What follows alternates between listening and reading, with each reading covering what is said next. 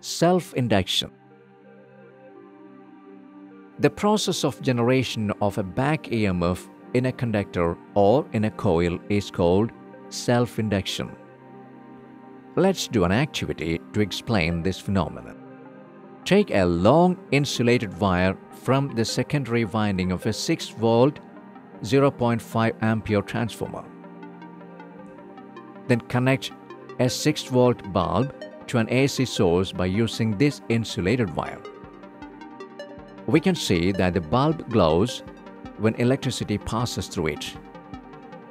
Convert this long wire to a solenoid and observe the change in intensity of the light. We can see that the intensity is decreasing.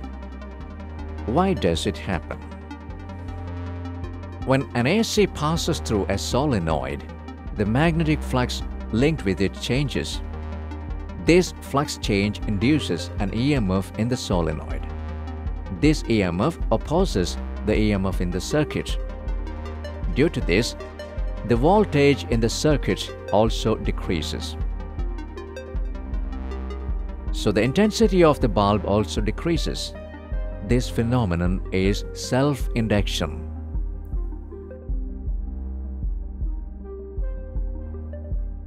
Self-induction is that phenomenon in which a change in electric current in a coil produces an induced EMF in the coil itself.